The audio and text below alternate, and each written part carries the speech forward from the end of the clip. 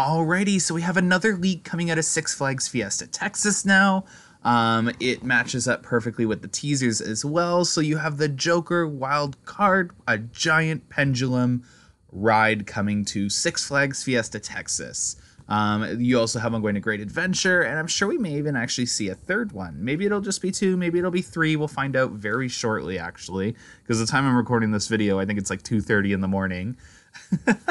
well, um, so I don't have too much to say about this attraction because everyone already knows about them.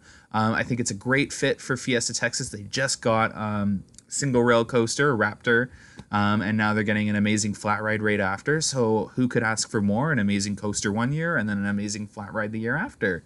So a great fit for the park, great addition. Um, I do have a bit of a problem with Six Flags cloning all of their attractions, though, and I'll explain why in another video, but it has to do with their whole season pass program and going park to park. And um, I don't even, I don't like when parks do that because it kind of discourages you from going park to park.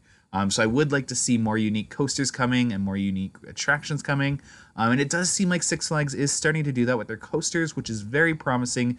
Um, and I definitely look forward to that. Um, and you can't really hate on a company for cloning flat rides too much because are there really that many choices out there for flat rides? So in the end, it's it's all fair game. Um, but yeah, super exciting. Um, and yet another leak at two in the morning between 11 p.m. and two in the morning. where We've been having leaks from Six Flags all night. Anyways, hopefully you guys enjoyed this video. Hit that like button, subscribe if you haven't, and share this video for others to see. There will be many more Six Flags reaction videos coming tomorrow and my Carowinds reaction video as well. Have a good one, guys. Bye.